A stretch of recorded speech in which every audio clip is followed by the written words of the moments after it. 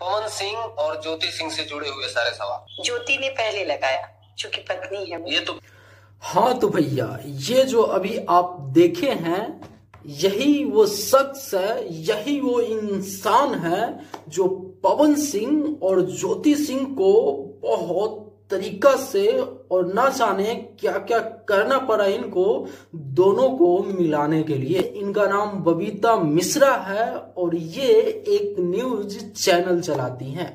दोस्तों, ऐसे तो जब ये ज्योति सिंह का इंटरव्यू कर रही थी तो बहुत सारे लोग इनको बुरा, भला न जाने क्या क्या कह रहा था। यहाँ तक कि पवन सिंह के मैनेजर दीपक सिंह, वो भी इनको होठला ली न जाने क्या क्या कह रहे थे। लेकिन आखिरी में जो आज साथ साथ पवन सिंह और उनके पत्नी दिख रहे हैं तो कहीं ना कहीं ये बबीता मिश्रा जी का देन है, क्योंकि सोशल मीडिया पे आया था कि पवन सिंह और ज्योति सिंह एक हो गया है तब ज्योति सिंह अपने फेसबुक पर्सनल आईडी से इन्हीं का मेंशन करते हुए इनको थैंक्स बोली थी। और सब लोग ये कंफ्यूजन में था कि भाई आखिर ज्योति सिंह और पवन सिंह को जो इंसान मिलाई है, वो कहाँ है? वो दोस्तों, सब लोगों का मन में यही चल रहा था कि जो ये बिना मानवी है ना, ये मिलाई है ज्योति सिंह और पवन सिंह को। लेकिन आज ये